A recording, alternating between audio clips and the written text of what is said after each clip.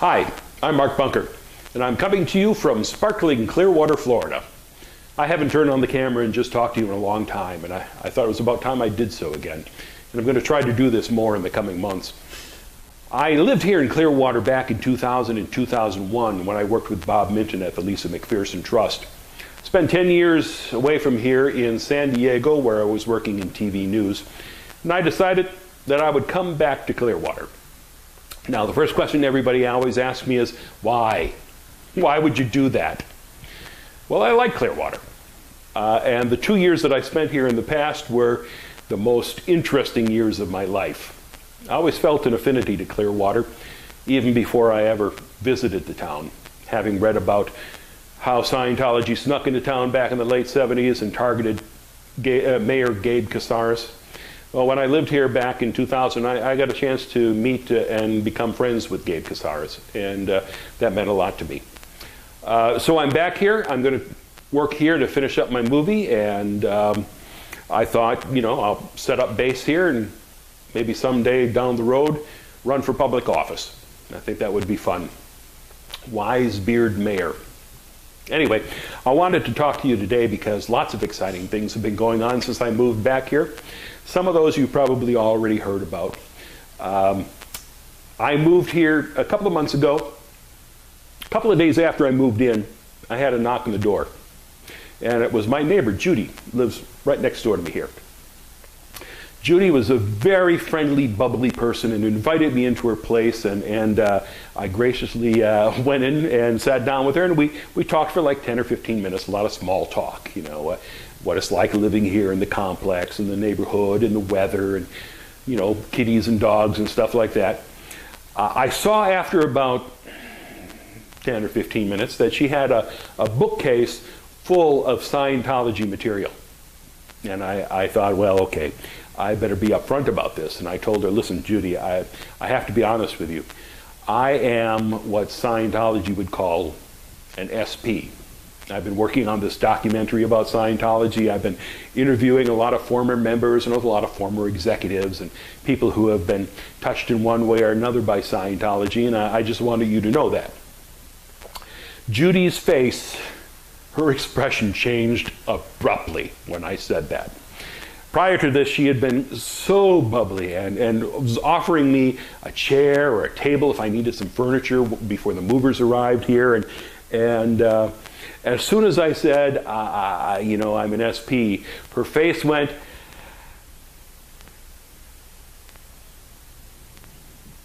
and uh, she very quickly said, well, if that's the case, I'm going to have to ask you to leave. And I said, well, I, you know, I, am happy to talk at all any time, and I, I hope we can be friends. And she just said, i have to ask you to leave now.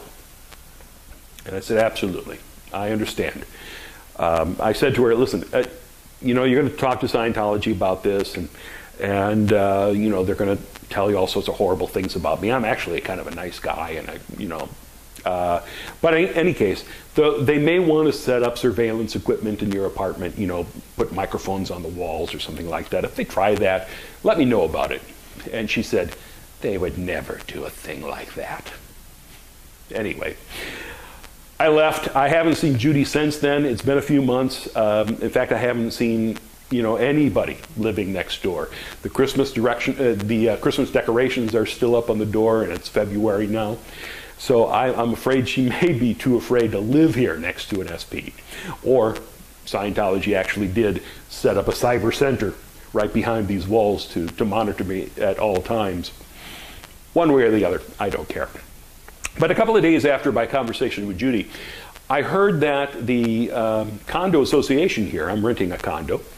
Um, by the way, it's right across the street from Hacienda Gardens, and I had no idea. When I moved to town here, I rented this online, had never seen the place before I arrived here in town. Just the photos that were on the website.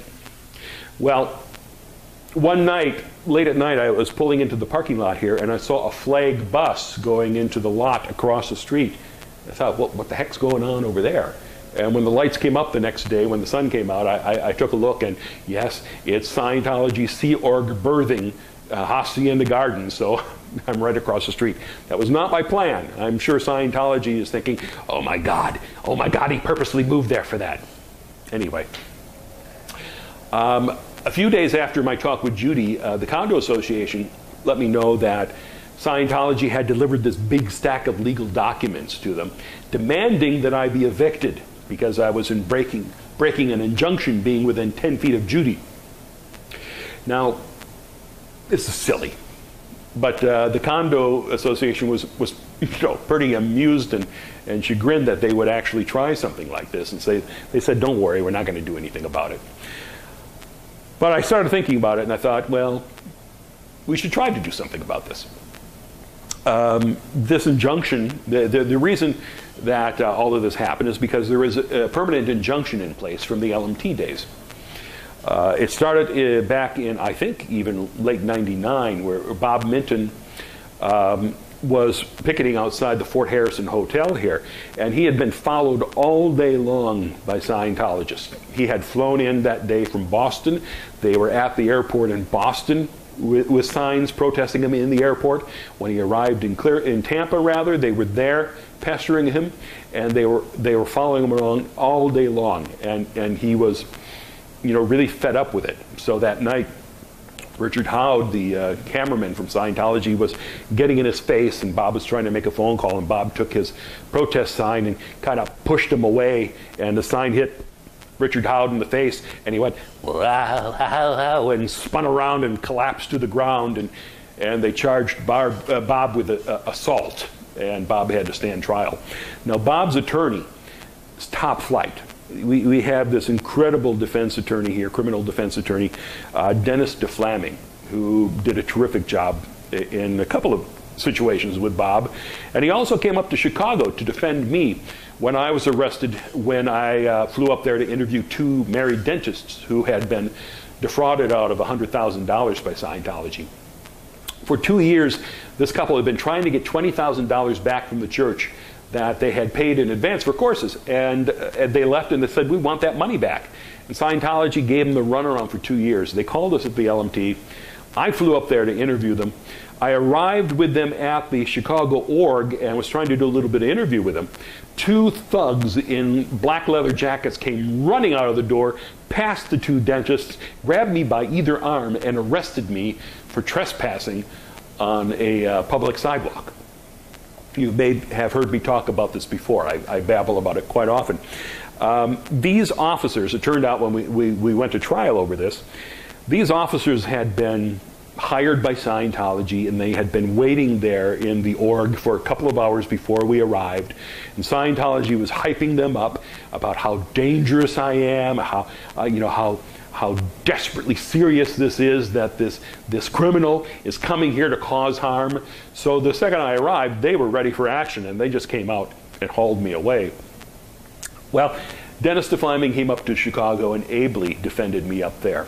Uh, and the jury, in a half an hour, found me not guilty, and, and, and that was all over. It, it was exciting. But what Scientology wants to do is be able to say that I'm a criminal. L. Ron Hubbard wrote that anyone who criticizes Scientology is a criminal, and all they have to do to shut them up is dig up their crimes. And if you can't find any, manufacture them. So that's what Scientology always tries to do get you arrested, you know, and, and provoke you, get you to, you know, uh, swipe, you know, swat back at them, and then haul you into court. By the time I had returned to Chicago from my arrest, uh, two days later, Scientology already had a copy of my mugshot and was showing it off to every business in the area, saying, "Watch out for this guy; he's dangerous. You know, you got to be careful around him." That's how they operate. So, because of the incidents with Bob, um, there's been this injunction that was put in place. And it's a two way injunction. Uh, Bob and all the members of the LMT and everybody working in concert with them were supposed to keep 10 feet away from all Scientologists and away from their properties. Uh, a picket free zone was established around several of their buildings here in, in Clearwater. And conversely, all Scientologists were supposed to stay 10 feet away from us and away from our property. Well, the way it turned out is it only applied to us. Because we were served. There was just a handful of us, and Scientology had their people there is serving us officially. So we were covered by it. But there's thousands of Scientologists here in Clearwater. There's no way we could afford to serve each and every Scientologist. So, therefore, it applies to us, it doesn't apply to them. And we're not, we're not going to be calling the police and saying, listen, they, they came up into my, uh, into my face and got in my grill. Please stop them. So it really was only ever used against us. Now, everybody else from the LMT is gone. And after 10 years of being in San Diego, I'm back here now.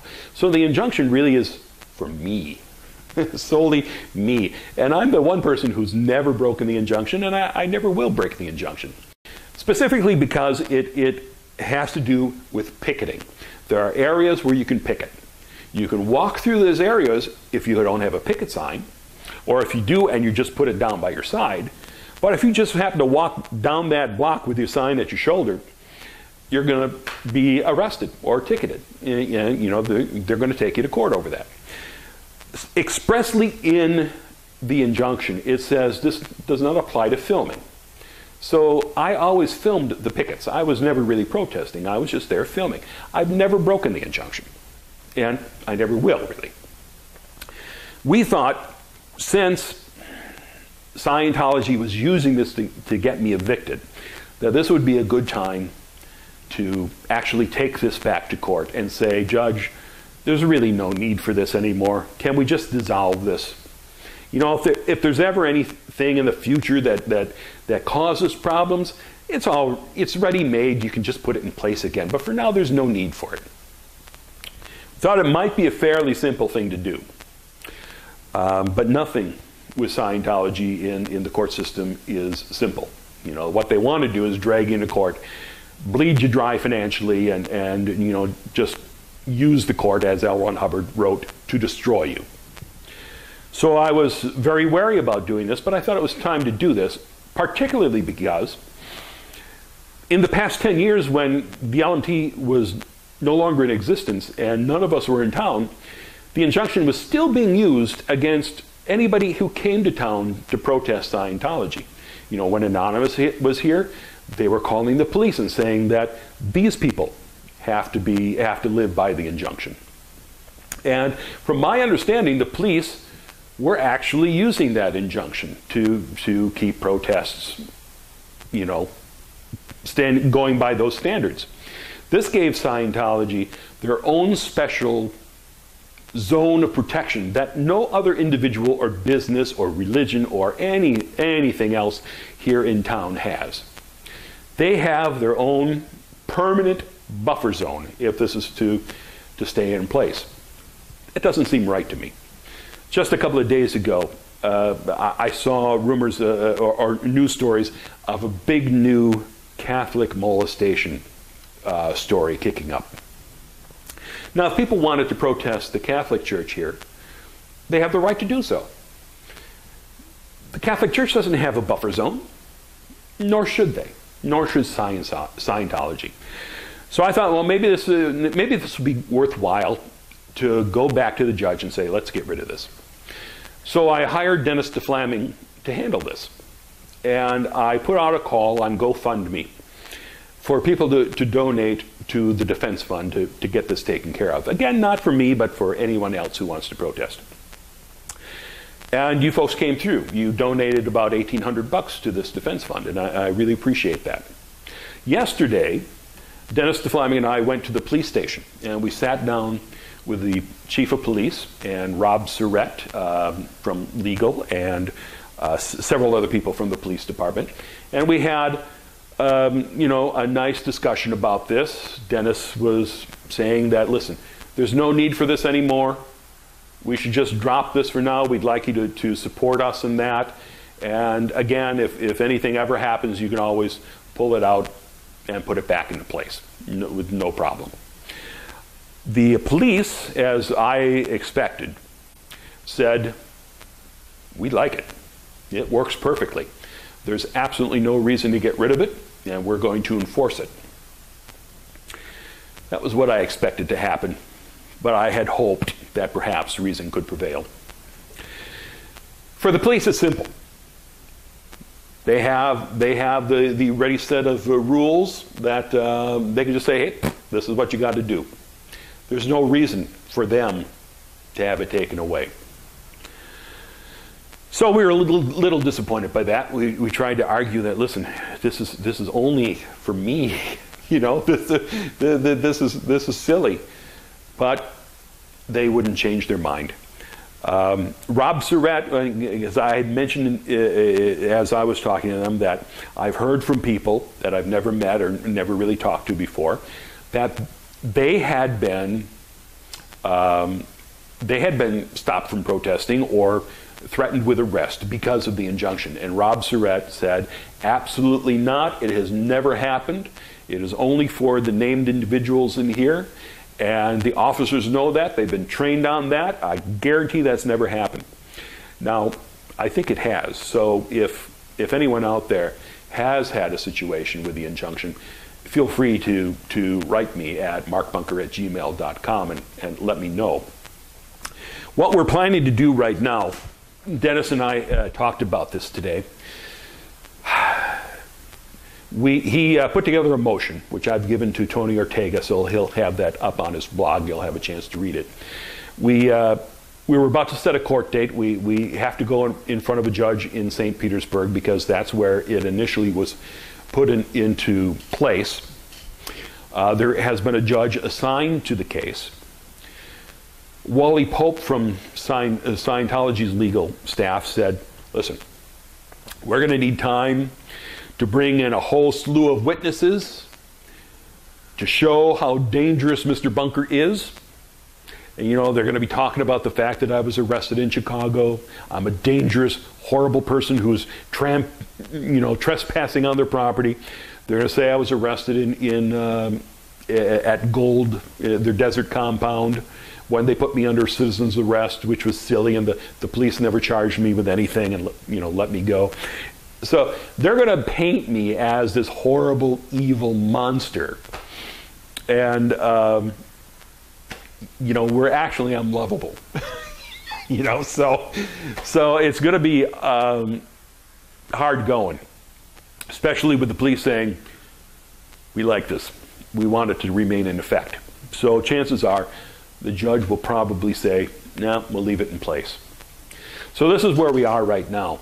Our feeling is that we should just put it on the table for now and, and not go forward at this time. And I wanted to talk to you about that. Um, you know, they're, they're, besides, you know, all the witnesses they have against me, They'll, they'll be hauling me in for depositions and they'll be trying to find out the names of everybody who donated to the defense fund and then they'll be poking into the movie and all this kind of they'll be able to you know go into everything you know the way Scientology does so at this point it seems like it's probably best to set this aside for now and tell the judge that Scientology through uh, through Wally Pope told the police department yesterday and the police told us that they're not going to try to have me evicted here. Um, and if I decide to move to another place, they promise not to try to have me evicted there. And if I'm out uh, in a grocery store in a, in a line and there's a Scientologist next to me, they're graciously not going to call the police to have me arrested. So they're not going to pull any, you know, any of these type of pranks again. Of course, they're still going to try to, you know, to have me arrested every chance they can. But at this point, it's probably best for us to pull back and say, let's see what else they try to pull. And if, and if they do pull more, then we'll take it back to court and go through all the hell that they're going to put me through.